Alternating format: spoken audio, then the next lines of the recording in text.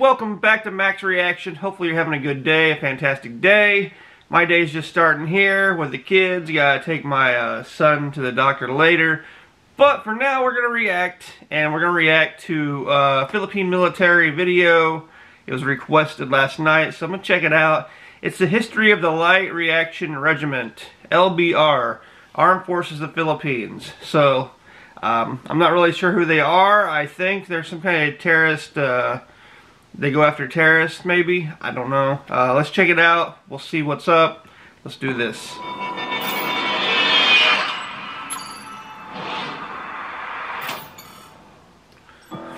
Prior to the creation of the LRR, the Republic of the Philippines maintained a small counterterrorism unit called Yeah. A-20, Okay. which belonged to the 33rd Special Forces Company. In the year 2000, Islamist terrorist organizations in the Philippines were growing in strength. A series of high-profile kidnappings of American citizens captured Western attention. Yeah, a lot of a lot of kidnappings for ransom. Um, I was looking throughout the history of how safe was the Philippines when I was getting ready to go over to the Philippines for the first time because I want to make sure, you know, I know what's going on. And you know, occasionally, you know, there was a kidnapping. Um, so I wouldn't say the Philippines is not safe, but there's certain areas in the Philippines you gotta watch out for your back, or you probably shouldn't just go.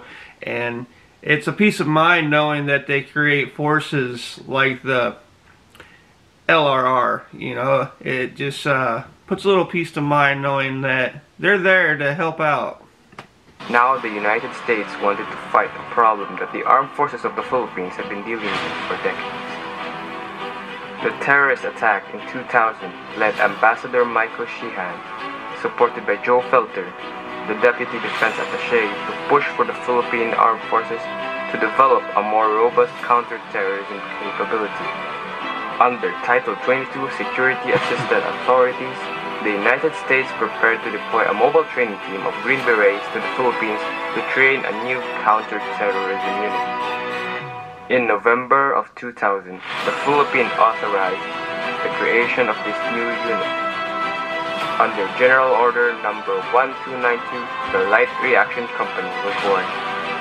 But still, they had to be trained and equipped.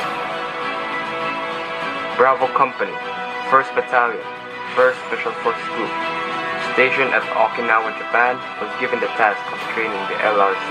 Wow, they were tr trained over in Japan. Um, it sounds like the Green Berets from the United States kind of helped train too. Many of the Green Berets were graduates of the SFAR, the AETC, and SOTIC, who were also regionally aligned with the Philippines.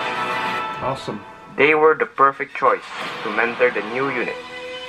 $25 million were spent to support the unit.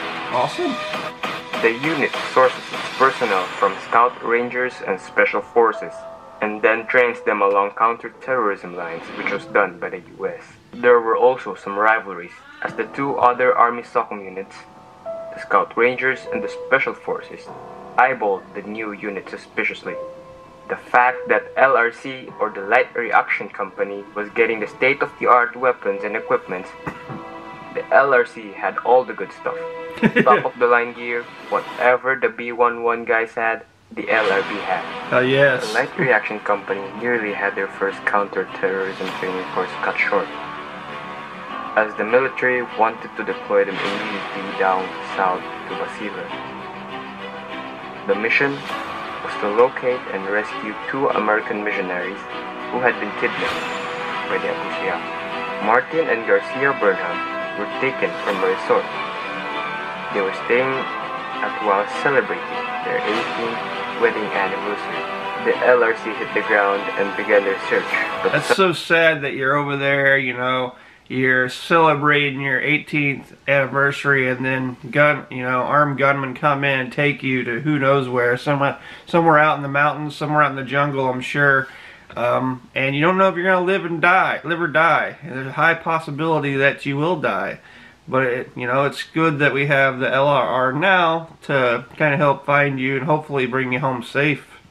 suffered from command and control problems. It was an issue endemic among Philippine SOF units, but while deployed, they fell under the command of local area commanders, who usually do not have special operation experience or know how to properly employ such units. The Light Reaction Company also deployed in their search alongside a company of Scout Rangers and a company of Special Forces, together creating the Counter-Terrorism Task Force.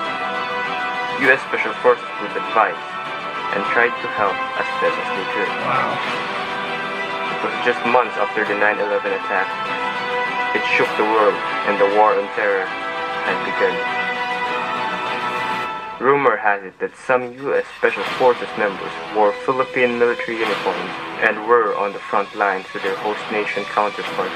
Really? At this time, there were also Philippine commanders who were assigned American Special Forces advisors. Those advisors had to go wherever their counterpart did. Wow. So if he was on the front, then so were they. Wow. However, these American soldiers did not engage in a firefight. With LRC's initial deployment, other problems began to emerge. The LRC has to be highly specialized unit. You can't keep them in the field for more than six months. You have to bring them back and retrain them. Retrain them? Wow, they're highly trained, man. If you got to retrain them after they've already been out The on the Philippine field. Armed Forces were learning the same lessons that the U.S. Army did when it stood up the Delta Force.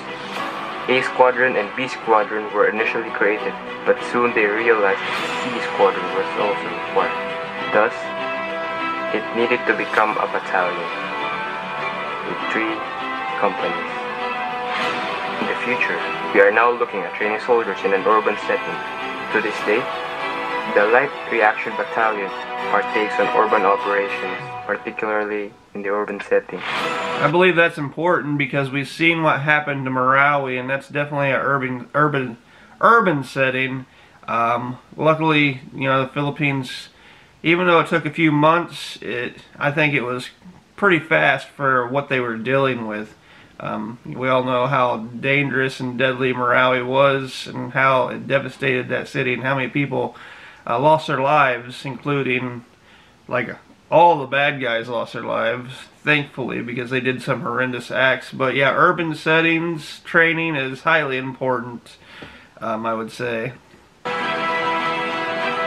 two of which were the Zamboanga siege and the Marawi siege.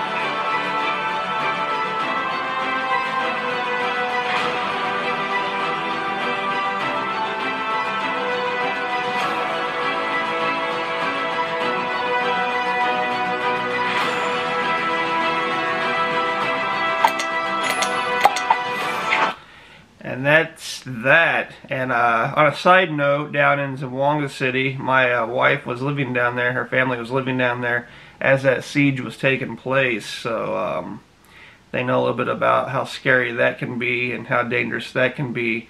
Um, thankfully, Marawi in Zamboanga City, it, it didn't. They both didn't last. I mean, Marawi lasted quite a while, but it could have been worse. And Zamboanga City, I think it didn't last very long at all.